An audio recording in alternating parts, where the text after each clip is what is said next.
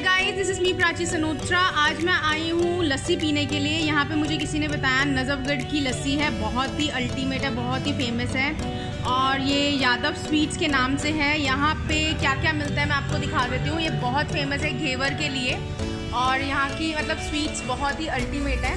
और सबसे पहले मैं लस्सी पीने जा रही हूँ और इसके बारे में जानते हैं लस्सी के जो ऑनर है. आई I मीन mean, जो यहाँ की शॉप हैंडल कर रहे हैं. इनका आपका नाम क्या है जी? रामवीर। रामवीर जी आप अपनी शॉप के बारे में बताएँ कहाँ पे है ये? कहाँ पे है? नजफगढ़ में कहाँ पे है? रोड। गोपाल नगर पड़ती है। अच्छा जी। तो यहाँ पे इजीली के सामने। अच्छा जी ठीक है। तो ये लस्सी जो है ये आपके यहीं पे बनती है? हाँ, कैसे बनाते हैं लस्सी? बताइए जरा। दही डाल के ना चीनी डाल के अच्छा और ये डेली सुबह बनती है? कितने साल से आपकी ये दुकान?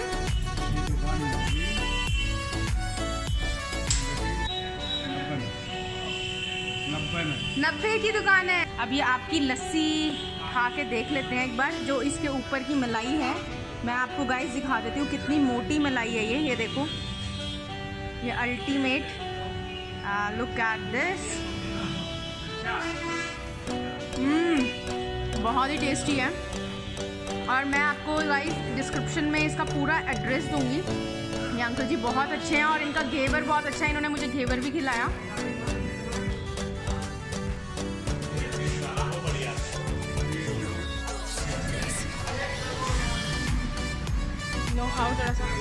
हाँ।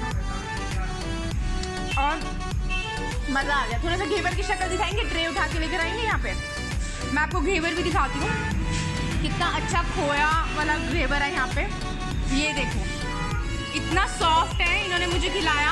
ये भी खिलाया ये भी खिलाया। डिफरेंट डिफरेंट टाइप्स के घेवर है वहाँ पे उधर भी पड़ा हुआ है। एंड बहुत ही अच्छा है सॉफ्ट तो घेवर आप कैसे दे रहे हैं पर के जी तीन सौ साठ का। और ये वाला? ये चार सौ साठ का। अच्छा दोनों में क्या है? डिफरेंस क्या है? दोनों में अंतर क्या है?